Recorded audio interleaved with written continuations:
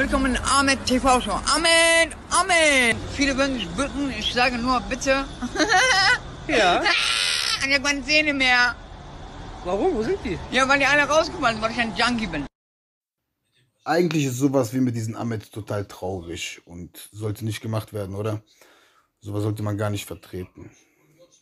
Es ist schon echt unmenschlich. Aber es ist im Umlauf, einfach mal die Meinung dazu wissen. Ist, ich finde es geisteskrank und ich bin total dagegen. Äh, Juri kann nicht klar drauf. Juri muss trinken.